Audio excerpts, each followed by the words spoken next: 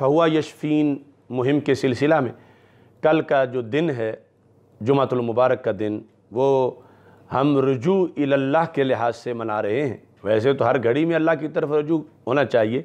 یہ یوم رجوع اللہ، کرونا وائرس سے نجات کے سلسلے میں تحریک لبیک یا رسول اللہ صلی اللہ علیہ وسلم اور تحریک سرات مستقیم کی اپیل پر پوری دنیا میں منایا جا رہا ہے۔ علماء و خطبہ سے یہ گزارش ہے کہ وہ جمعہ کے موقع پر اس بات کی طرف لوگوں کی توجہ دلائیں کہ آخر امت مسلمہ کے ماحول میں اس طرح کے وائرس کیوں جنم لیتے ہیں، کیوں آتے ہیں، سبب ان کا کیا ہے؟ حدیث مصطفیٰ صلی اللہ علیہ وسلم نے واضح طور پر فرمایا گیا ہے کہ جب کسی معاشرے میں اوریانی فحاشی بےہودگی بے حیائی حد سے بڑھتی ہے تو رب وہاں وہ بیماریاں بیچتا ہے جو ان لوگوں کے اسلاف کو کبھی نہیں لگی تھیں۔ اور وہ نئی بیماریاں ہوتی ہیں، تو آج ہمیں کرونا سے نجات کے لیے اس بات کی طرف بھی توجہ کی ضرورت ہے۔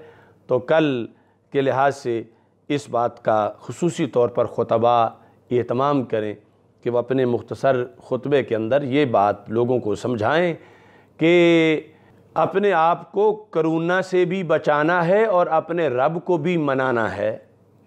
اللہ کی ناراضگی کی وجہ سے اس طرح کے معاملات بنتے ہیں؟ رب ذوالجلال ہم سب پہ راضی ہو جائے۔